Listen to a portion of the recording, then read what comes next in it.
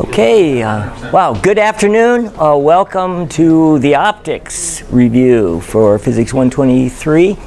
Um, we're going to get started off with geometrical optics, and we got a lot of ground to cover. There's a lot of side issues, and hopefully we'll get our heads and hands around this as best we can.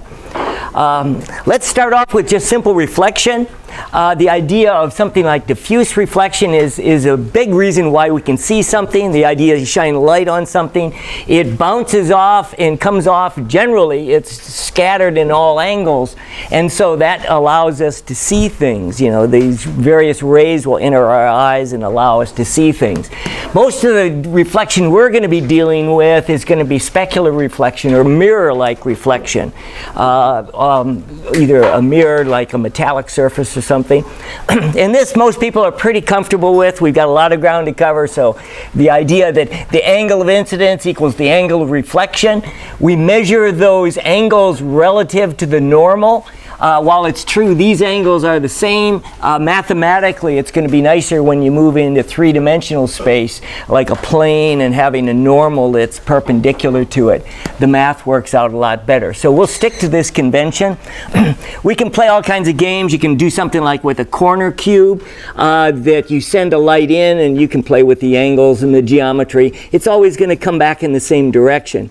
This is kind of a 2D. We can extend this into 3D. So typical reflectors uh, will take the light and send it back in the direction they're, they're headed. So like uh, if you're on a bike and a car, headlights hit you, the uh, light comes back to the driver of the car. And that's, so that's kind of a corner cube reflection.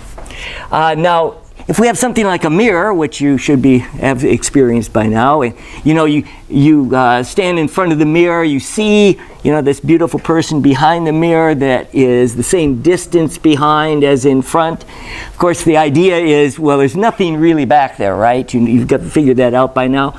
Uh, but the idea that the light coming off of it, maybe we light this thing up with specular ref reflection, the light, the light bounces off the object and off of each piece of the object, they're going to send out uh, and uh, are going to reflect off. And the idea that each of these rays, the angle of incidence equals the angle of reflection, and they go flying off in a direction that we can extrapolate back the, these reflected rays back to a point here. And this is what we'll call a virtual image. So you stand in front of the mirror, you do see uh, you behind the mirror. It just appears that way. These dotted lines represent virtual rays. Uh, they're good for construction. The actual rays are all on this side.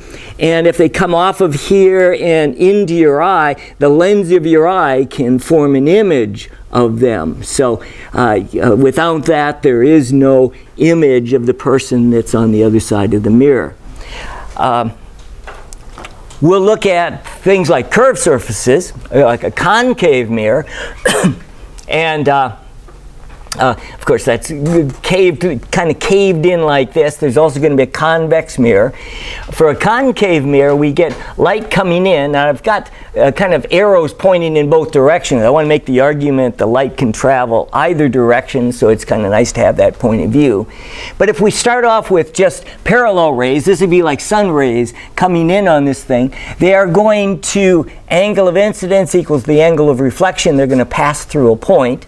And uh, they will, for a spherical surface, which is the only ones we're going to be dealing with, they do a pretty good job, but really only formally at narrow angles. Um, at something as big as this, they really actually are going to miss a little bit here and there, so they're going to be, they're not going to pass perfectly through a point. Uh, if you want to get that to happen, you use a parabolic surface, and then, then there's a focus that will actually bring these to, to a sharp focus. But we will deal again only with a concave spherical mirror. It's got some kind of radius of curvature to it. It's got some center to it.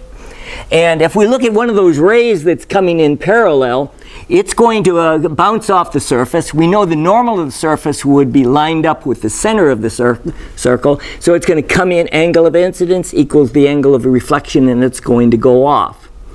Uh, for a small angle, this angle and this angle, because these rays are parallel, cut, cut with the transversal. If you remember your geometry, I know a lot of people are kind of weak with that, uh, that this angle is equal to that angle, so all of these are equal. If I've got two angles here, this is an isosceles triangle, this is equal to that, and so for small angles, this swings down and is approximately the focal length. So this argument that this is equal to that means that the focal length is half the radius of that, of that circle. Again, emphasize small angles. So this, uh, what we're going to use here, this point where they all seem to come together is what we're going to call the focal point. The uh, distance from the surface to that point is going to be the focal length of that lens. Okay, so uh, if we take a convex mirror, uh, coming back this other way, we bring in parallel rays, they're going to reflect off angle of incidence equals angle of reflection. They're going to go off that way. And similar to the uh, plane mirror that we used in the last slide, that these projected lines, I've got them as dotted lines, these are virtual rays and they seem to emanate, reflecting off of here, as though they're coming through the focal point uh, or call, through this point, which we call the focal point of this uh, uh, mirror. Uh, we're going to see when we get into uh, doing some problems, we're going to end up calling this uh, a negative radius here. Uh, but we'll, uh, let me hold off and get into the signs in a bit. I can do something similar to this, the idea that uh, we would have a parallel ray coming in, it's going to reflect off, and it's going to angle of incidence equals angle of reflection. And those two angles are back here. They're going to be equal. Similar argument. This is equal to that. And so the focal length of this thing is just one half the radius. Uh, okay now we can use concave mirrors to form real images. Uh, we won't be able to do it with convex mirrors for a concave mirror, let's just kind of play with this. The idea that we can place an object here, we can form an image over here, and this is going to be what we'll call a real image. A real image is not where it just appears to come from, but there's actually rays that are going to pass through this point. And if I place a screen there or a piece of paper, that they're going to converge and they're going to light up, light up that point. Now, there's a, coming from the object, we've got uh, I'm, I'm just taking the rays that are coming off the very tip of this arrowhead. There's actually an infinite number of them that are coming off. We're interested in simply the basic construction rays, or trying to visualize it that way. And one, one ray that would be coming in parallel would come in and off the, the mirror. I've, you notice it's kind of hitting the, off to the side here. Keep in mind that uh, we really are dealing with small angles so that these approach this. Um, if you're doing an actual uh, diagram like this, you can turn it into good numbers as long as you say, okay, it's going to strike and strike this surface. So the idea of, again, the parallel ray is going to come out. It should pass through the focal point and would then go on. Uh, there's also going to be one, uh, the rays can go just as well if there, there's a ray that's passing through the focal point here uh, it's going to come in and it's going to go out parallel. Uh, that's going to do that. And then there's also one that is that is coming down and is going to hit this point.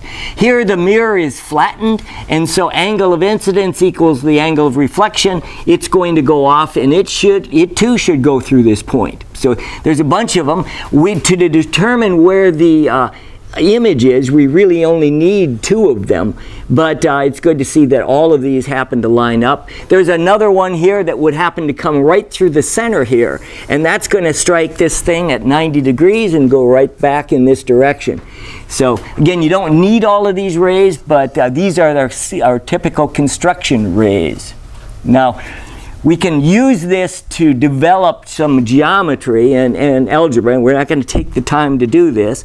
Um, uh, we can use this, and I think you've been using this, hopefully you've been exposed to this, uh, is going to be the, the mirror equation, very similar to the lens equation, so we've kind of got this, the same. uh, where the object distance is measured from from this surface out to where the object is. This is we're going to call P for that. That distance, that's the P. Uh, the Q is the image, and the Q is going to be measured from here out to where the image is. That's Q. Uh, the focal length, again, is just going to be uh, R over 2, or when we stick it in here, it's going to be 2 over R. This will govern what's going to happen here. So we don't need to necessarily draw accurate diagrams, but they do help to kind of picture what's going on. Now, there's various sign conventions that, that we get playing with, and this always is kind of a pain. The book presents you with kind of a table of sign conventions. Um, I am primarily visual. I see things, and I want to give you kind of a visual way of remembering your sign conventions. One is this picture here is uh, notice that uh, everything is on this side of the mirrored surface. Here in this, as far as doing math problems, we'll have P, Q, F, and R are all considered positive. So uh, we will form a real image uh, if we have, that is with light traveling in this direction, uh, we'd be coming from the object, and uh, the, the object distance P is going to be positive. Uh, we will form an, a real inverted image here, and that's going to be Q. Q will be, be positive. If we happen to go through this uh, in the problem here and we come up with a negative q, that just means that it's over on the other side. There's also a strange beast we'll come to, as a, a, a, virtual object. And if that object, instead of being back here, happens to be on this side, that's negative, anytime that changes.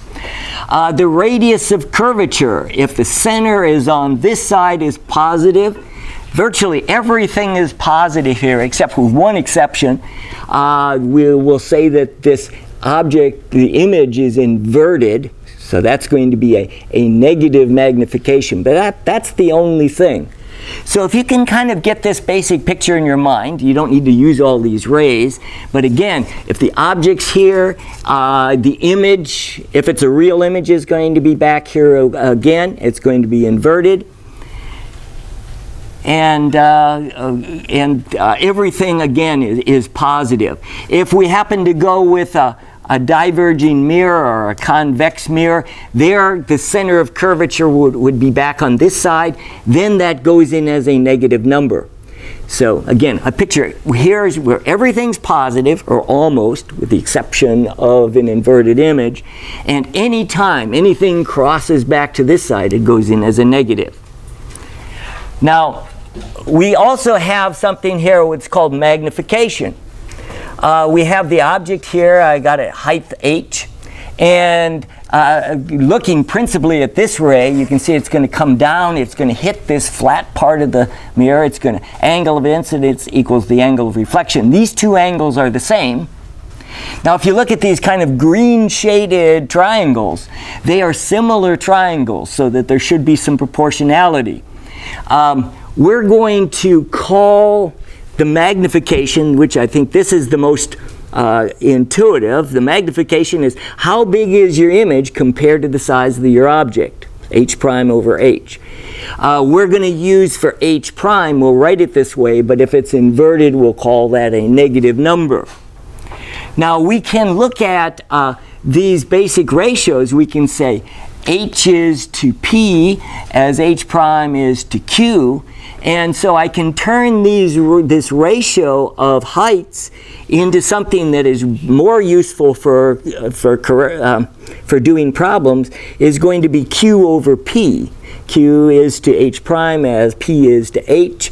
Uh, we do doctor the equation a little bit since both P and Q would be positive here. We get an inverted image. We're going to stick a negative sign in there to make our sign convention work. So this is kind of a doctored, doctored feature. Uh, here, if we're doing it in terms of h prime, we leave it in like this, but with the understanding h prime could be uh, negative. This is what, of course, what we're calling the magnification. So again, uh, generally we have light traveling this way. We call this thing the front side, this side the back side. You want to be careful that in some problems, uh, like in your homework, where you get light going through a lens, maybe going through bouncing off another mirror, maybe it's coming back this way, uh, you want to consider what is the direction of the light. This sign convention is based on the direction going this way. if we need to reverse it, flip it back, then uh, we go the other direction. Okay, uh, let's, let's do a little more here. Uh, here's, uh, it's kind of a confusing diagram. I almost pulled this out. But if we just kind of look at a concave mirror and we play with different things where I'm going to take the object and I'm going to move it in closer and closer and closer and closer to this concave mirror and uh, see what happens to the image. So this first one is this first image, and uh, one thing we can do with all of these, they all, the way I'm arranging them, they all have their tips of their arrowheads all along this parallel line, and we so know that all the rays coming from those would go off on this uh, right through the focal point and would form a line. Then as far as the heights of the images or where they are, we can look at uh, the light that's coming in, it's going to bounce off this thing, angle of incidence equals angle of reflection, and it's going to tell us where the image is. So if I put my object here, I'm going to get an image here. If I bring it in a little closer, it's coming in at a greater angle, so now I've got a little larger image. It's moving back as I'm moving forward. Uh, something's interesting here when it comes right to the uh, center of curvature, the uh, image ends up being the same magnitude, only inverted, uh, as the object is. If I get inside of that, uh, I can project here, get another image here. These are getting larger and larger as I'm coming in. And in fact, if I bring it all the way into the focal point, these rays, these rays are going to end up going off parallel and they will never converge. Or we could say they converge at infinity out there where you would have, an, have your image. Now, you can form a real image anywhere in here if I happen to bring the object inside the focal length, let's say at number six here, uh, then this is uh, going to be a ray that's going to diverge from this principal ray and it will appear to come from a point back here. So these are what we would again call virtual rays. They indicate this coming here. And uh, back here is what we'll call a virtual image. That is, they appear to be coming from here. Um, okay, so I uh, hope that uh, helps a little bit. Now, a, a convex mirror, uh, where we're going to have the center of curvature on the far side. So this is going to go in for the focal length will be negative. R goes in as the negative if it's back here. And uh, here I've got an object. Uh, it's coming in. It's going to go off. Uh, the ray is going to travel away from the focal point. And uh, it's, uh, it's uh, not going to form a real image, but it will form an image back here. This ray that's coming off here, if I'm looking at this with my eye, it's going to look to me like it's coming from this point. And so this is, again, what we'll call a virtual image. There's no, uh, there's nothing be actually behind this mirror. Um, this idea of a virtual image, the idea is these are apparent rays that come from here. Nothing actually is there. If I place a screen there, I don't get any, I don't get a real image. These are just extrapolated virtual images. If I come in closer, what's going to happen, it's going to move in a little closer, but in, in the case of a convex mirror, we always have just virtual images. We won't form a real image. Uh, that's somewhat like uh, the plane mirror that I used in that very first slide, where you know uh, the image and object distance are the same. Uh, for a plane mirror is going to be flat, the radius of curvature would approach infinity, and this would be zero. So we under understand that uh, Q is equal to just to minus P. It's going to be on the other side and a virtual image. So hopefully this is, is uh, clear. I'm going to do some more with lenses. And we can contrast back and forth with those. But before we get into lenses, lenses only work because of refraction, the refraction of light. So let's just look at some of the basic ideas with this. If we uh, if we bring in light, and let's say I shoot a, shoot a laser beam and I straight down into some kind of medium. It could be glass, it could be water. It uh, tends to just go straight on through, no bending of that or no refraction, or at least not in terms of direction. Um, and we, we've learned in the first section of, of this course, we played with this idea that frequency times wavelength is equal to the speed of the wave. If this happens to be a vacuum, the speed of the wave is c, the speed of light. Uh, we've got that. When it hits the medium, it can slow down, and we'll have the uh, frequency times now the wavelength in the medium should be the speed of the wave or the velocity in the medium. Now, an important idea behind this is that as these waves come in, think of like uh, crests uh, coming in from the ocean, um, they're going to be coming in and they're going to be striking the shore with a particular frequency. And whatever frequency they start, when one wave hits here, it creates another wave here. It starts to move off and will create the next wave as soon as the next crest hits.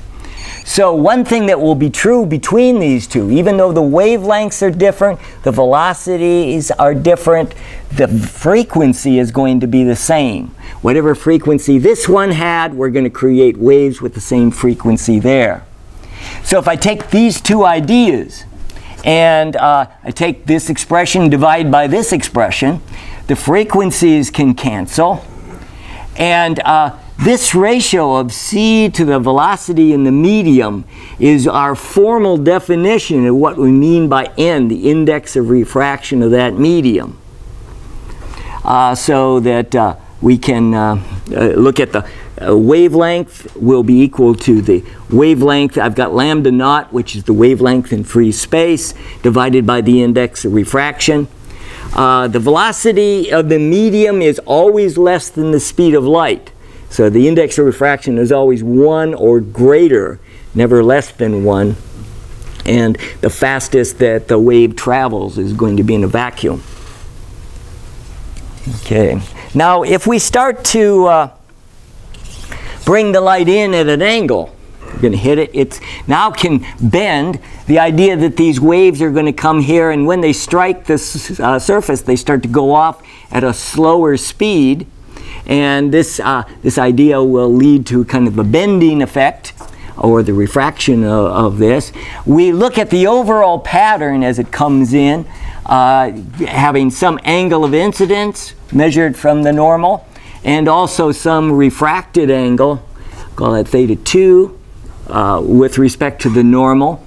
And to kind of see what's going on with this in terms of the wave nature of light, when we're coming in, uh, this distance here in free space is, or, or, it could be free space, it actually could be any medium. Uh, I'm having it uh, uh some index refraction, which I'm just calling n, and then this one is going to be N2, which is uh, going to be greater than the other. So there's going to be a bending in.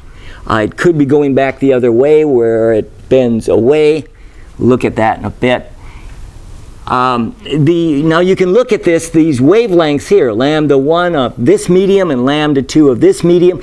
They can be related. You can look at these little uh, um, rect I mean triangles that I have here, they share the same they say share the same hypotenuse, and so that h times the sine of theta 1 is equal to lambda 1, and h times the sine of theta 2 is equal to lambda 2. So we've got these two relationships, as well as the uh, velocity to the frequency relating to the wavelength. And then take and divide these two things out, uh, the H was just kind of arbitrary in here, and uh, the frequencies go out, and we're left with the ratios of the speed to the index of refraction. Uh, the C's go out, and we can quickly generate Snell's law. Okay, whether you follow this or not, you definitely need to know this relationship. So N1 is the index of refraction of the first medium, the sine theta initial, that would be its incident angle, and theta n sine theta 2, that refracted angle. Okay. Now, just kind of an overall pattern that I think is helpful to keep in mind. Um, let's say I'm going to shoot light down. Uh, first, I'm coming in towards this thing. If you're coming straight down, you just go straight on through. As you come off at an angle, there is a tendency if we're going from a higher, I mean a lower index to a higher index, in this case I've got a vacuum up here, so uh, when it comes in along two, it bends in a little bit and each of these are going to kind of follow this pattern, one, two, three, four, five, let's let's get up to let's say six is a little more apparent where it's coming in at an angle and then it's going to get bent down in this direction so it bends we say towards the normal if I come in at 7, uh, here I've got it right along that surface. Really, if it's just an epsilon above that surface, it can come in, and it's going to come in along here, uh, right at the greatest point, and this is uh, going to be something we're going to call the, the critical angle. You'll notice that for light coming in from the outside, there's nothing that gets out into this region here. If I want to send light back the other direction, I want to go from a higher index to a lower index, I could run the light and uh, number one, I'd send it straight on through the surface. That's just going to follow this same path. In fact, each of these will end up just going back in the same direction they had when they're coming in. Again, that's why I'm using kind of a double-headed arrow. This works in either direction. But now what's interesting is once we get all these uh, rays in here are going to go out, this seventh ray going out here is going to want to go down the surface. So its refracted angle is 90 degrees. What happens there at that point is uh, really this light at this, what we call the critical angle, critical angle, is going to come in and that is, rather than go down the surface, it actually reflects angle of incidence equals angle of reflection and it, uh, it reflects and that is something we call total internal reflection. Nothing gets out the other side. That would be true for anything coming in this direction as well. Uh, it's coming in, it's at greater than the critical angle. It will not refract. You won't be able to see it if you're on this side. It comes in, it reflects down, and uh, angle of incidence equals the angle of reflection. So that again is true for all of these. They are just going to undergo total internal reflection. So hopefully you have this pattern down a bit. Uh, this idea that right at the critical angle, the refracted ray wants to go off at 90 degrees can help us find the critical angle. If I use uh, n1 sine of that critical angle is equal to n2, and then sine of 90 degrees, which is 1, you can quickly come up with what the critical angle should be. It's the inverse sine of 1 over 1, well in this case it's 1.5 because I'm using glass and using the sine of 90 degrees. So that would be the critical angle for glass. It's kind of cool that it's less than 45 degrees, so this is really good for optics. Yeah. Oh. Or is it the sections in between? Uh, the critic, oh, uh, it is really just out to this point. All, all of these are, are angles we will deal with. The critical angle happens for the ray that would refract off at 90 degrees. And then that becomes the critical angle. Yeah, thanks for clarifying that. Okay, so hopefully you've got this pretty well in mind. Now when using various problems, okay, we've got a few that we should look at. A lot of people are rusty with their geometry. Uh, a lot we do with, with prisms, and I thought we'd kind of take a look at this. It's a good representative example of what he might give you. Uh, he might give you a prism problem or something closely related. I'll take a look at that.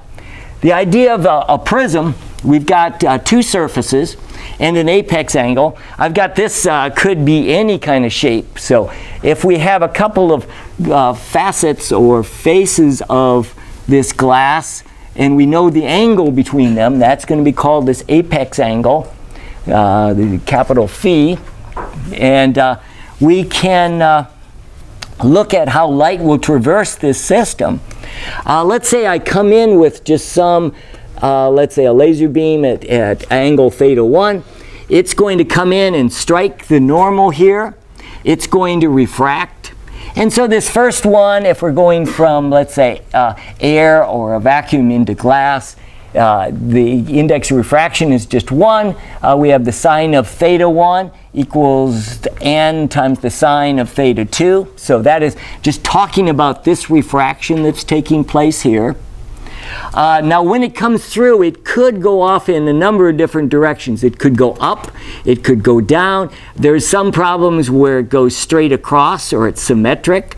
Uh, that simplifies things and rather than get too simple, let's just do the general case.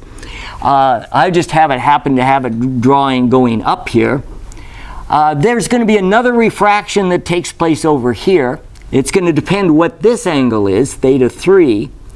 And uh, then we're going to have, a, it's from going from the glass out into the air, n times the sine of theta 3 would be equal then to the sine of theta 4. So the basic idea, if you could come in at some known angle, you should be able to get the refraction, get this other angle, and then if you can get this angle, then you could get the final angle that it goes off. Okay? Now, what's usually troublesome for students is they get this first one, and they, in order to do this next part, they need to know theta 3 before they can solve for theta 4. So uh, looking at this, I've got theta 2 and theta 3. There's lots of ways of doing the geometry, but this is kind of the simplest, I think most intuitive way of seeing this. And this helps in a lot of problems when you're trying to cut through the geometry of what's going on. When we do everything with respect to the normal, so if we have the surface like this and the normal is at right angles, and imagine I take this and uh, they, so that surface is normal there. Over on this one, the surface is this and the normal is off in this direction. If I take this and I swing this through this ang apex angle, the angle here, the normals have to swing through the same angle. So if you can see that, that can be helpful. So I've got one normal and intersecting with the other normal, the angle between the two normals is the same as the apex angle. That's that phi. Now maybe the geometry is a little more clear to you. Uh, the idea that theta 2 and theta 3 uh, plus this little angle have to equal 180 degrees as well as this little angle plus this angle have to be 180. It's not difficult to show that these two angles have to add up to the apex angle. And this is a key bridge across the prism that uh, we can say, wow, I need theta 3, uh, so I can get theta 4. Uh, but if I go theta 1, solve for theta 2, I get theta 2. I then should be able to get theta 3. Once I have theta 3, then I can get theta 4, and I can figure out the path of the light through the prism. Okay, now another thing that's uh, talked about with the prism is called the deviation. The idea that the light was originally coming in this direction and it's going to end up going out in this direction. It undergoes, notice this dotted line indicates the direction it was originally traveling and it's going to refract off and go off in this direction. This angle is called the total deviation of that light. Now to see that, I, I like uh, thinking in terms of individual deviations.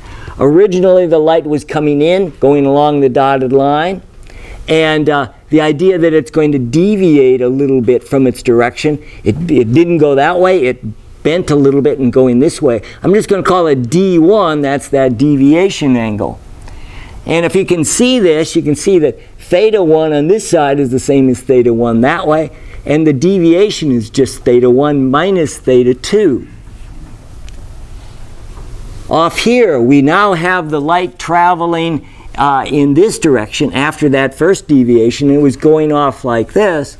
Uh, instead, it refracted at this next surface. It underwent another deviation, deviation 2. Uh, that's going to be theta 4. Uh, theta 3 is here, so this angle is theta 3. And I can come up with uh, the second deviation is theta 4 minus theta 3 put it together, the total deviation is our two separate deviations, theta 1 minus theta 2, and theta 4 minus theta 3, the second deviation. And the total, what we can do is pull theta 1 and theta 4 together. I have a minus theta 2 plus theta 3, but I already know that uh, theta 2 plus theta 3 is the apex angle. So the overall deviation is going to be theta 1 plus theta 4 minus the, uh, not deviation angle, excuse me, the apex angle. Uh, typically like that's maybe 60 degrees, but it could be any, any kind of an angle. So this is kind of a quick trip through uh, a prism. You want to kind of think through it. Uh, sometimes he gives the problems where they're not quite so uh, obvious that, that this is a prism problem. Uh, let's say he gives you a problem like this. This was a test question. Um, I, I, don't have the actual one Xeroxed here, but or mimeographed, but I've got uh, this this one. It was a piece of glass. This is 60 degrees. This is 60 degrees. It's it's flat. Uh, it's got an overall length of eight centimeters, and he's bringing in a ray of light or a laser beam is going to be one centimeter up uh, and it's going to, he wants to know where does it exit this piece of glass. Now, coming in like this, it's not surprising to find that it's going to refract and refract down. And when it gets to here, it's a possibility that it could go on through. Uh, I think you maybe are starting to see already it's not going to happen. Uh, this is coming in at an angle that's greater than the critical angle, but we need to show that and uh, it's going to reflect off and then it's going to refract through again and he wants to know at what where does the ray exit you know and how high is that ray coming in at one centimeter it goes off at what what distance so this is kind of a good one to kind of get your head around as far as playing with the basic geometry. Uh, people get rusty with that, and I know some people even ha haven't had any geometry, and it gets pretty tough for them. Um, so the first thing we deal with is this first refraction. Uh, uh, this is N1 out here, uh, the air, sine of 30 degrees. Oh, let me just be clear that this, this is 60 degrees here, and so with respect to the horizontal, hopefully you can see that that would be 30, half of 60. And so sine of 30 degrees is equal to the glass 1.5 times the sine of theta 2. You would get that. That's measured relative to the normal. Uh, you can do a quick calculator and come up with that theta 2 is almost 20 degrees.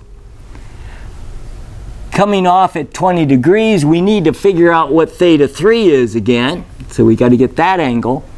Now, uh, seeing these things can be a little difficult.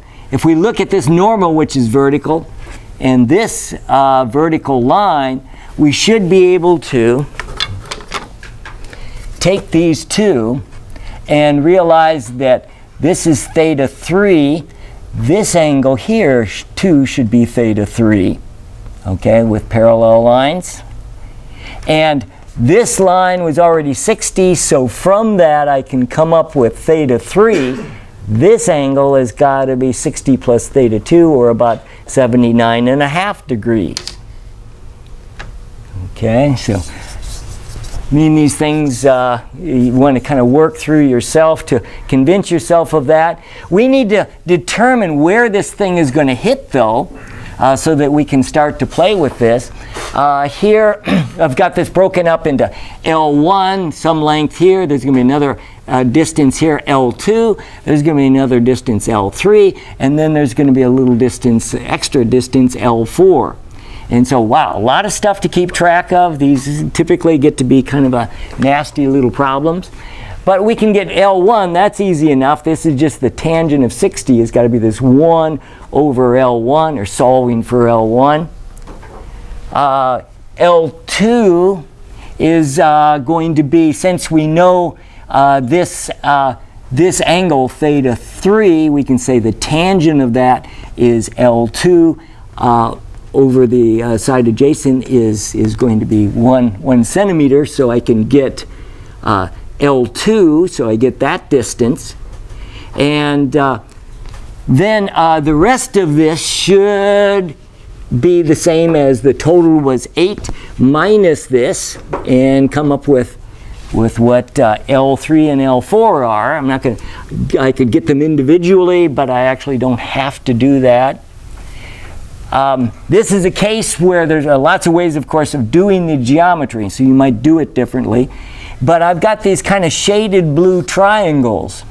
You'll notice that both sides were at 60, so those angles are equal.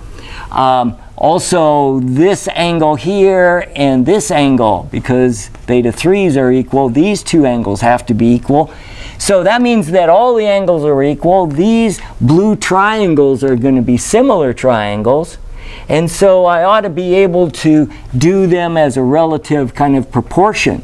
I can say this one, uh, one centimeter is to L1 plus L2, so I've got that is equal to the height of uh, this is going to be over its its length L3 and L4 and that was L3 and L4 I've got this. I realize I'm whipping through this pretty fast but hopefully you can kind of follow kind of the general strategy of this and then go back and look through this in detail. Uh, so I can go ahead and solve for H. So it's about a third of a centimeter that it emerges these type of problems are typical of what he will do uh, on the exam, so don't be surprised if you see one. He likes this idea that when they go through the medium, they may be hit here at, at maybe at the critical angle, maybe not at the critical angle. Uh, a real quick test here to see if the, instead of going off this way, it actually refracted through. We need to kind of test it and that was going from the glass, or 1.5 times the sine of that angle, 79 and a half degrees, is equal to the sine of theta 4. So this is, again, just using Snell's law. Uh, but uh, looking at this for sine of Snell's law, sine of theta 4 has to be equal to 1.47. Can that be? Well, if you're on your calculator, calculator is going to give you an error message. Uh, the sine can't be greater than 1. So the, your reaction should be, oh, well, if it can't happen, uh, all we have to have a case of total internal reflection. So again, we need to consider this, but this is a case of total internal reflection. Okay, I'd encourage you kind of on your own to kind of go through this, and I realize they get kind of messy, and some of these are, are kind of difficult. Um, okay. Yeah. What information is given to us in that question? Uh, the information was uh, that this is a, this piece of glass. These are both 60 degrees. Uh, this bottom edge is 8 centimeters. The light beam is coming in parallel to the base at 1 centimeter up. Okay, and then uh, ultimately, because these angles are equal, it's going to go off at the same. So that's the easy part of it, uh, finding the direction of that, but then to get the height that it's going to get bumped up. So, okay. Don't want to scare you, but uh, there's some of them that are out there like that. Okay, let's let's uh, use refraction and start to uh, look at basic things like uh, like uh, focal points of, of lenses. Uh, let's start with a, what's called a converging lens. It, it kind of looks like this. We'll get more into why, the why behind this. But we can do something very similar to that we did with the mirrors, where we send in parallel light and it's going to come to a sharp focus, hopefully, or reasonably sharp if we use small angles. Uh, and uh, that is going to be the focal point. This is going to be the focal length, and that's going to be true. Uh, these go in either direction, so I, I will typically, with a lens, we'll mark a focal length here, and we also mark one on the other side. The one for the other side is that I could have light instead of coming into my focal point, could be going out of my focal point and going off and will go out parallel. So consider these two, all we're doing is changing the direction of the light. We can send it either direction. So the basic principle is called reciprocity. Uh, and it can be very helpful if we're kind of figuring out what's go going on. Uh, a diverging lens is one that's concave. And uh, here the light coming in is going to come in and it's going to end up diverging and going out we can extrapolate the rays back to what we'll call the focal point here. We still do that. And the focal length is this. We're, we're going to call this going to be is going to be a negative number. Uh, this focal point is kind of like a virtual focal point of this thing. Uh, these rays appear for when you're over here as though they are coming from this point. Um, we can, uh, let's see, we can also uh, do the focal point on this side where rays are headed this way and then they would end up coming out parallel. So one bringing parallel rays in and they're diverging or the other one when they're converging and going out parallel. So this uh, hopefully will help kind of with your intuitive notions of what these elements look like. Okay, uh, Similar to, to the, uh, the mirror, where uh, we used a concave mirror to form a real image, uh, we need a, a convex lens to form a real image with a lens. So there's a little bit of a difference between this and the mirror, although there's a lot of similarities. We're going to end up using the same basic equation to describe the object, image, and focal length of the lens. Um, but we're going to start off with the object, and we are going to have the light traveling this direction. And uh, so we'll call this the front side of the, of the lens, and the other side the back side of the lens. Um, and if we place, place this object here with this, uh, this point, light is coming off of it in all directions. The principal uh, construction rays we're going to be playing with is one that's coming in parallel. We know that parallel rays have to pass through the focal point. So we've got that. Um, also, a ray coming through this focal point has to come in and go out parallel. Uh, a useful one that is very good for kind of seeing what's going on is this ray that passes through the center of this.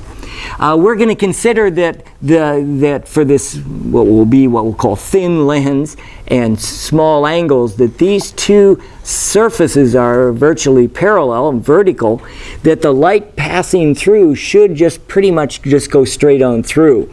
Uh, there would be a little bit of a displacement, but it would still be in this direction. That is, uh, but since we're all the problems we're going to be dealing with, we're going to call it thin lenses. Uh, these are going to be thin, arbitrarily smooth. Uh, that's why I use this dotted line for construction reasons, that it sits at that point. That is uh, where the lens is to be. Okay, um, and so I have an object over here. I have this image. Uh, we measure the P uh, from from uh, the, the uh, lens out to the object. We measure the Q, the image distance from the lens out to the image. Uh, and this basic picture is where everything is positive. So in terms of sign conventions, I kind of pick, pick this other than the, the image will be inverted. In fact, real images will always be inverted. Uh, virtual images will not be. So this is kind of, kind of a quick test. Um, as long as you've got your object here, P is positive, and you want to solve for Q, we can use this equation to do it. Uh, here I would have a positive uh, P. It's possible though when I'm solving this I get a negative Q. Now the positive Q is where the image is on this side. So this is a positive Q. If I get a negative Q, that just means the image is on the other side of the, of the lens. Um, if uh, we get to a beast that's called the uh, virtual object, uh, that's where the object could be on this side, and then this, this just becomes a negative number. So uh, again, everything here is, is positive with the exception of the magnification and the image. Uh, and it's, I, I think, a good way to just kind of sort of burn this in your memory. Everything here is positive. Anytime any one of these elements flips to the other side, it goes in as a negative. Okay. Uh, oh, yeah, now as far as magnification, again, magnification is what is the ratio of the height of the image compared to the height of the object. So that's uh, sort of intuitive. Uh, we can look at these shaded green triangles again. These two angles are going to be the same. They're right triangles. These triangles should be similar so that h is to p as h prime is to q. We can just do those that simple ratio of q to p. Uh, we do, to make our signs work out, we insert this negative because it will be an inverted, uh, uh, inverted image we would consider h prime would already be negative, and but we have to doctor that negative sign for the magnification. Okay. Um, now, if we uh, we can get a virtual image, and that happens when actually when we get inside the focal length. If we've got our object here, it's got this height. Uh, we look at a uh, quick look at the rays, principal rays here. We get a parallel ray; it would pass through the focal point. Um, the one that would pass through the center of the lens would go straight on through. So now I've got a couple of these that are actually coming off. They're diverging. They're not converging. They appear to be coming from this point back here. And so if I have in front of this, this is the basic idea of a magnifying glass. You have something in front of it, and I'm going to look through it. I'm going to look through it, and these rays that are, are diverging, uh, my lens in my eye can converge to the back of my retina, and I can see it. And I will see a virtual image back here. It's going to be enlarged uh, a great deal, and so this would be a, a, mag, uh, a magnifier the basic idea of the magnifier. Um, in this case, uh, we still want to use the same basic expression uh, for the lens and mirror. Um, everything here is positive with one exception. Q on this side would go in as a negative. And if you do that, uh, all of these are going to work out. The negative Q will get rid of this other negative, it'll give you a positive magnification. This is going to be right side up and enlarged. And uh, let's see, anything else to say? Okay, so this would be a, a case of, for a convex lens, of a virtual image. Okay, uh, we can do a uh, diverging lens, concave lens. That's where the light tends to spread out. This will never by itself form a, a real image. Uh, the idea that if you have some object, the rays coming through it, this parallel ray that's going to come in is going to appear to diverge from the focal point on this side. And uh, there will be one that will go straight on through the center of this lens, this one off to the center. And actually, these two are enough to tell the story uh, where, uh, excuse me, this one coming through uh, is going to be the height of this thing. This one coming off, angle of incidence equals angle of reflection is going to go off. I'm having trouble seeing this myself. Um, yeah, anyway, these, these extrapolated rays, probably this one and this one are, are enough to tell what's happening where the image is. We only really need to be able to calculate it. What's going to happen here is we've got uh, P is going to be positive. Uh, we're going to end up with both uh, the focal length will be negative for a diverging and Q will be negative because it's going to be back on this side. So again, I use the same basic idea that P is positive, it's over here. Q is positive is here but it's going to be negative, so it's going to be back here. And uh, anyway, this you can take a look at those, and hopefully this makes sense to you. So it's always going to be virtual, it's uh, within the focal line. Right. Uh, that, that's right.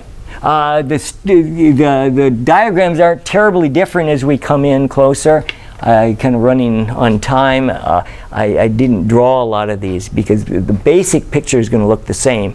As you change where the the object is, your image is going to change, its distance and size, but the base, it's always going to be on this side of the equation. Uh, Yeah. I don't know if you mentioned this, but I just got so I'm sorry. But um, when you're trying to find the image and you're drawing, you know, the ray that's parallel um, to the principal axis and you're drawing the one that's towards the focal point, for this diverging lens, how come you like can, you can't draw it towards the first focal point? Oh, uh, right. We'd, we'd be looking at this parallel ray. Um, well, it is this. Uh, for, for a diverging lens, the focal point is considered back here. It's this virtual ray. It is true that this parallel ray coming in here is going to go off and diverge this way. And we, this focal point, we never have really rays going through that per se. Uh, these particular rays, this one is, again, I've got a dotted line to indicate this is an extrapolated ray. So if your eyeball's over here, it looks like it's all coming from, uh, uh, or this one looks like it's coming from that point. These other ones are coming from this point, and so your eyeball up here is going to see this here. So you wouldn't draw it through the first focal point just because it's not going to like have any effect on Oh, um, Oh, okay, I could have done that. Okay, I think, uh, yeah, there is another ray, and I didn't put it on here, that is going to go from here through this focal point. And as it comes down and goes through here and gets over to here, it is now going, it will go off. No, I haven't got that wrong. There's another focal point over here that I didn't, oh, that's this one. And this one headed this way is, is headed this way but ends up going off parallel. So if you're thinking of that symmetry of a parallel ray will uh, diverge from this focal point. Another one that is uh, how it do that? well, okay, this uh, okay, this is partly how we define this. Let me back up here. Uh, oh, wait a second. Uh, yeah, for a diverging lens, this focal point is, these rays don't necessarily go through it. I just have one that happens to go through it. These are dotted lines uh, to this focal point, indicating that these rays are going to be diverging and they appear to diverge from that point. So this focal point on this side, we can deal with the focal point on the other side as long as these rays that are converging here, they end up, if they're headed this way, they're going to end up going out parallel. This one uh, is a hard one to see because we are really kind of dealing with virtual rays there. Yeah, because if you have a ray coming from the top of the arrow and it runs through that focal point, the first one, wouldn't it, after this goes through the lens, um, that's certainly that's true for this, which we got. Yeah, I think we've got that here. I've got it going through both of them, where we get one coming straight through and it's going to go off parallel. I think this is what you're thinking. And uh, this is for a converging lens. And then this one where we had, oh, I didn't put that in. Um,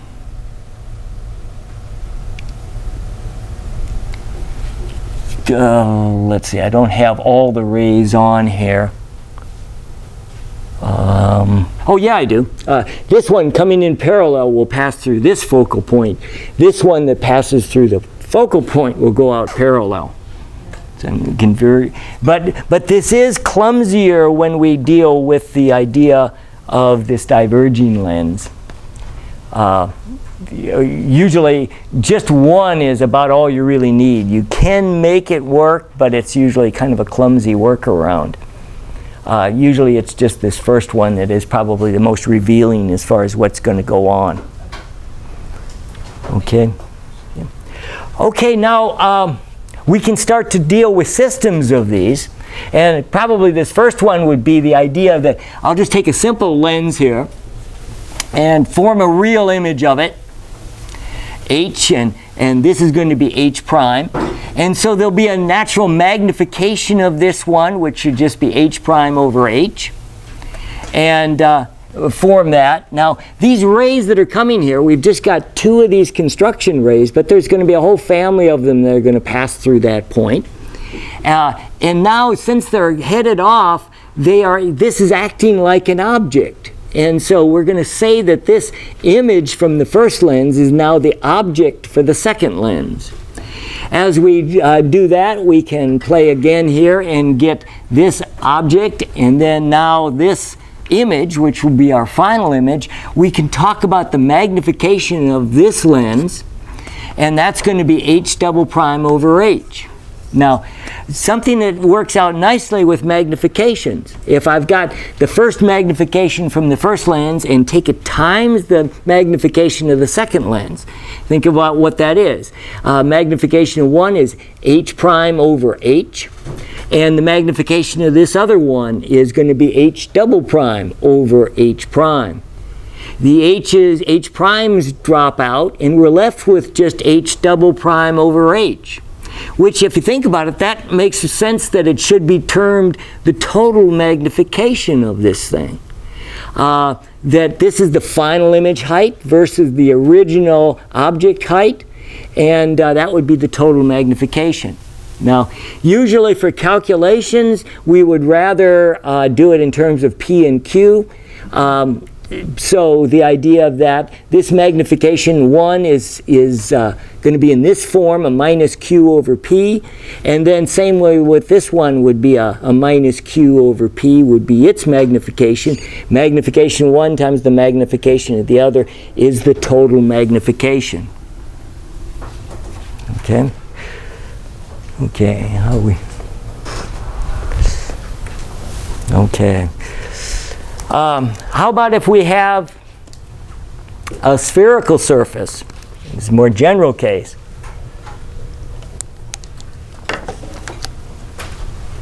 Um, this indicates we've got some surface. I've got two indices of refraction. Uh, I could have a medium over here, or maybe it's just air, and maybe this is glass or water. Uh, this surface that this light is going to strike is going to be a curved surface. It has some radius of curvature and a center to that curvature. Uh, if I place an object, let's say, out here, and here for this first part, it will look at the, the actual rays that are coming from the bottom of the object. Uh, those rays are going to come up a whole bunch of them, but this is one of them that's going to come up and is going to hit uh, this surface and it's going to refract. From the center of curvature, that would define the normal line, and then we would say that the incident angle uh, and the refracted angle coming off here would obey uh, Snell's law. Uh, one thing we will be dealing with, these are going to be small angles, so this original Snell's law is going to be reduced to just, uh, we'll just use the angles themselves instead of the sine. And I don't want to get into too many details here. This, uh, this, this angle they call alpha. This angle the book calls beta. This angle they call uh, uh, lambda. And uh, these are small angles as well. So they all these triangles all share the same height here. And we can talk about the tangent of these angles, the tangent of alpha, tangent of beta, tangent of gamma, and put them in terms of these ratios. And then we can just start to pull this together instead of uh, theta 1. Theta 1 is made up of these two angles, alpha and beta. Theta 2 is actually going to be beta minus gamma is going to be what's theta 2. And uh, the result of that, do some math, cancel your h's, rearrange things, is going to be a little bit different looking beast here for our calculations. Instead of 1 over p plus 1 over q is equal to 1 over f, we're going to have n1 over p plus n2 over q, and then we're going to have an n2 minus n1 over r is going to be uh, uh, effectively the 1 over f relationship that we're going to have, the focal, focal length of this thing. Uh, this picture here that I have here, everything here is positive. Uh, so this is with the assumption that light is traveling in this direction. Uh, is going to hit this front side, is going to be the front surface. This is going to be the back side. Uh, we are going to assume that all of this is taking place within the material itself, so it could be as big as you want this way, but all of this is contained inside this. It could be glass or water or some imaginary uh, material here. Um, something that isn't obvious here, and we need it in a problem here that we're going to do shortly, is the idea of magnification here. Now the idea, I, I found the point at which, where the image would be using this ray coming from the bottom and it gives us the, excuse me, the bottom of the image here.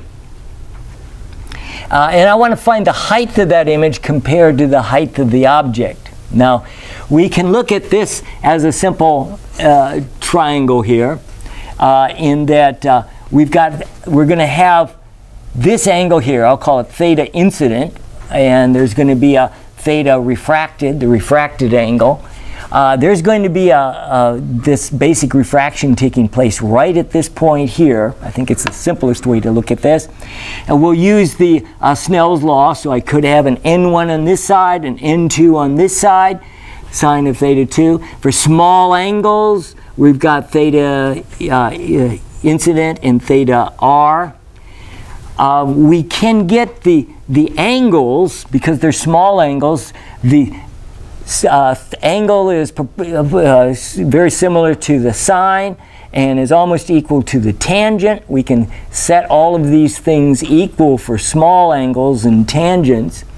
Uh, here I've got theta initial. The tangent of that is going to be h over p. The tangent of theta refracted is going to be h prime over q. And so I end up replacing these with h over p, h prime over q. Um, there is uh, uh, there is going to be a negative because it's inverted. And now I can just rearrange this. The magnification, which I mean to be h prime, bring h here, that's going to be the magnification, will be equal to uh, N1Q to over uh, N2P. We've got a negative sign indicating that it's inverted. And so again, just summing this up, this is the magnification for a, a surface like this. Uh, where in the past we've looked at with both mirrors and lenses as magnification as being Q over P or minus Q over P. We've got these indices of refraction that we really need to include for magnification. Okay, wow, a lot of stuff. What he might ask you. Uh, we're going to uh, take and use this idea, that's this relationship here. We're going to do it twice to come up with the lens maker's equation. Because we're going to need this because uh, you've got some uh, the homework problems as well as he has done this on the exam where he gives you the dimensions of the, of the lens and he expects that you will just calculate what its uh, focal length should be. So what we do uh, is we use, the, let's say we've got air out here or a vacuum. We've got some glass. Uh, for this case, uh, this R, let me back up one slide again. One set. Again, uh, is terms of signs here. Everything here is positive. P is positive if it's on the front side. Q is positive if it's on the back side. That's just like with lenses. And the radius of curvature, that center, if it's on the back side, this R goes in this equation as a positive number. If the center of curvature is back on this side, it goes in as a negative number. Okay, and we're going to need that for this problem that's coming up. Okay, so these are kind of the pieces that are in place. We can make use of this where we're really going from one surface, surface 1, through this other surface. And we start with the idea that surface 1 maybe has all this material back here, and then we're going to carve out uh, the second surface. So what I'm going to do is uh, I'm choosing this one mainly for sign convenience where R2 and R1 are both going to be positive. They're going to be positive because the centers of curvatures are on the back side, not on the front side. We'll look at some other examples here in a moment. So I'm going to make use of this expression. I'm going to do it two times. For the first surface that the light hits, I'm going to 1 over p plus, I'm going to have, the 1 is because the index of refraction out here is 1. I'm just doing it for air. Uh, N2, the index is now for that of maybe glass or something if we're making a lens. I'll just call it N. And then n2 minus n1, that's going to be n minus 1 all over the radius r1. And so that would describe the image-object relationship. Now, because this is a thin lens, the first image from this first surface is going to be back here. And that is going to be on the back side of this second surface. So what we'll do for the second surface uh, I take uh, N1, now I'm going now from the glass, so that's going to be N, all over the P. Now the, the, the, the um, object distance for that first, uh, excuse me, for the second surface is going, uh, for the first surface I get an image at Q1, that same image is now going to become a virtual object for the second surface. So I put in Q1, that distance is the same. It was positive up here, but down here I put it in as a negative because it is going as in as a virtual object. So this enters a minus sign there. That's a tricky feature. And then uh, 1 over the final uh, image for the total lens. So I've, and I've got that would be N2, which would be 1 minus N1, which is N, all over R2. Now we can make the lens equation by saying I'm going to just take these two and add these two expressions together. I'm going to have a 1 over p. These two terms are going to cancel since this one was positive and this one being a virtual object is negative. They're going to cancel. And that just leaves me with 1 over p plus 1 over q is equal to, uh, take this uh, plus this. Uh, we can do a little algebra here, not doesn't take much here, and we can come up with this expression, which is called the thin lens equation. Um, or I, I should say, this is this is the image object and, and, along with this this should be 1 over f all of this since we're making a lens and that 1 over f should be equal to n minus 1 all over, well, you can read here, 1 over r1. That goes in first, and then minus 1 over r2. Now, I developed this where everything was positive, almost everything, except for virtual objects here. Um, uh, for this case where the two centers are on this side and you get a surface that looks uh, like this. It's still converging, if we want to look at a more extreme case, this would be a case of real convergence where we have two surfaces here. This R1, this would go in as a positive since its center of curvature is here. So, so R1 would go in this expression positive. Um, if the second surface has its center of curvature back here, that r then would go in as a negative number. So if I put in a negative number here, the negative and negative will cancel one another and I end up with a larger overall number and a larger focal, a, a larger convergence to this thing. It's 1 over the focal length. And uh, so it makes it a stronger lens uh, if I have two surfaces that are concave, I would expect a negative. Here, the center of curvature is back on this side for the first surface, R1. It's positive for R2. So when you get back here, R1 was negative. R2 is positive, but I got a negative here. I end up with an overall negativeness here, which means that it's for a uh, d- a diverging lens, and it's going to be very divergent because, because of the shape here, the way I've chosen my centers of curvature. Okay, so hopefully this uh, uh, makes some sense. This is good for both uh, diverging as well as converging lenses, so it works for any of those, but you do have to watch where the center of curvature is. Okay. Okay, let's let's put it all together. This is an exam question. I picked it out because it's uh, um, it's it's fairly uh, like what he'll do. Um, we have a small frog that's placed in a 1.2.5 centimeter glass sphere, diameter of 10 centimeters or radius of 5. Uh, convex lens is then placed a distance d in front of the surface of the sphere. If the lens has a focal length of 6 centimeters, he says, what is the value of d, that is, where do we place this, in order to, to have an image that is upright and magnified by 7. Okay, so that, that is, would be its total magnification. Okay, so let's, let's play with this. First, we've got this object is inside this glass sphere. So it's back to this uh, case. We need to make use of this relationship here. N1P uh, plus N2, well, anyway, you can read that. That's what we just developed. Um, the N1 is going to be the glass, so the light is, is coming from the frog. A lot of people get kind of confused what's going on. Probably the light from the room is going in into the glass sphere. It's lighting up the frog, and the light is reflecting off the frog, and that's what we're looking at. This light is going to go out this way, and uh, is going to, so, so this surface is the front surface, and this surface is the back surface with light going left to right.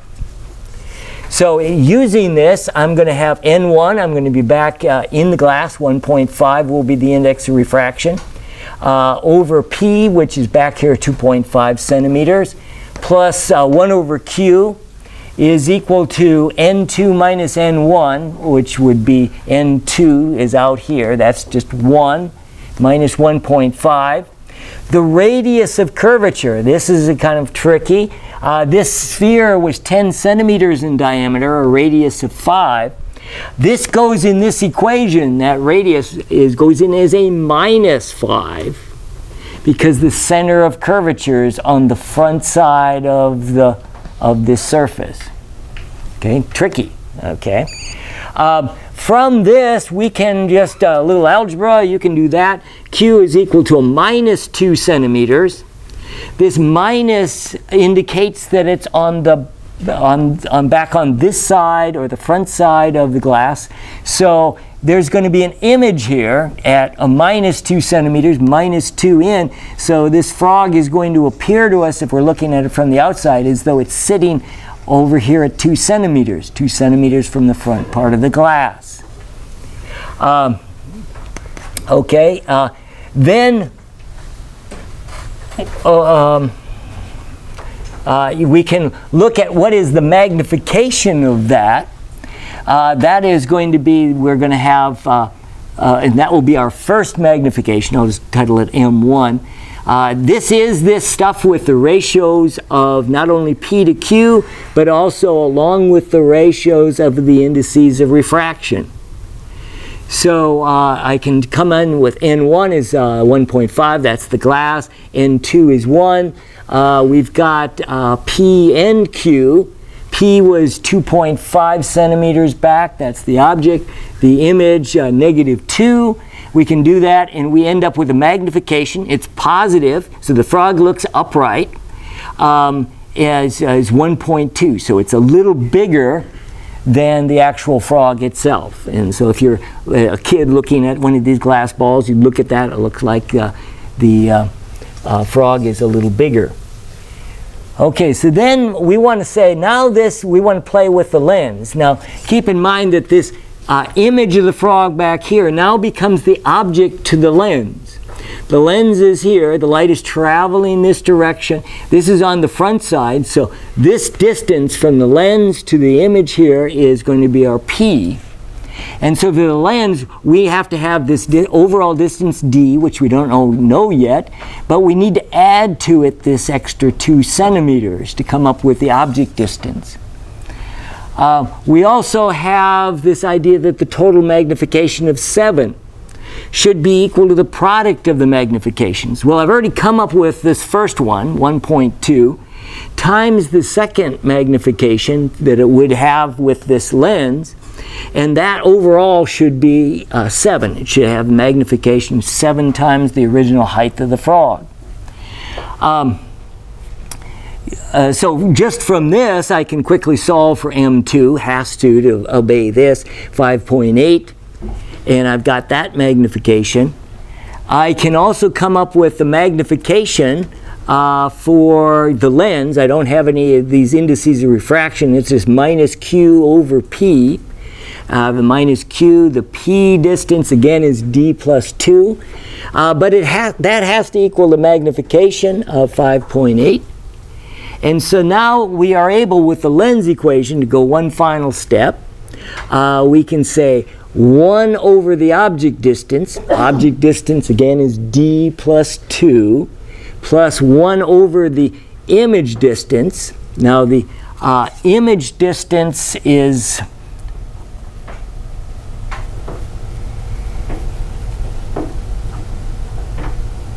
Oh, uh, yeah. Um, I've got. Okay, I'm kind of messing up here. I've got I've got uh, the Q. If I solve for Q, I should have put it as a separate line here. Uh, or let's see, minus Q is equal to 5.83 times D plus 2. And so I've got, again, I've got that minus sign for that, uh, that it's negative. I got the magnification times D plus 2. And uh, so that, that is the object, that is the image.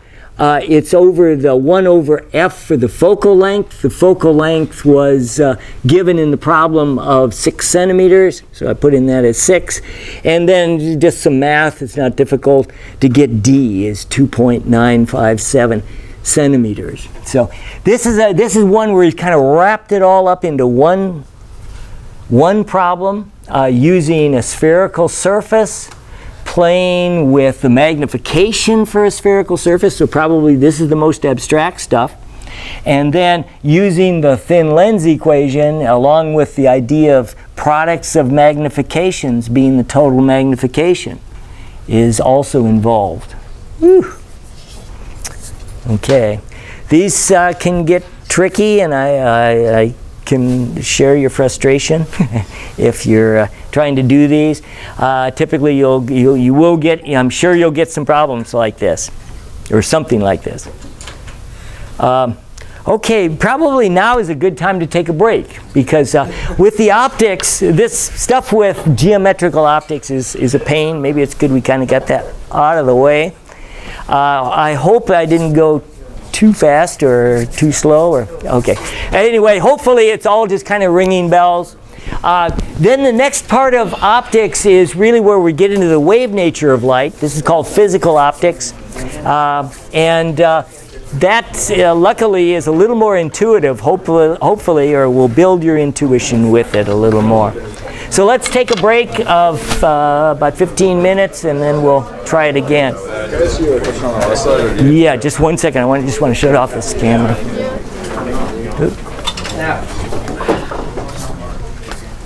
Oh, my bad.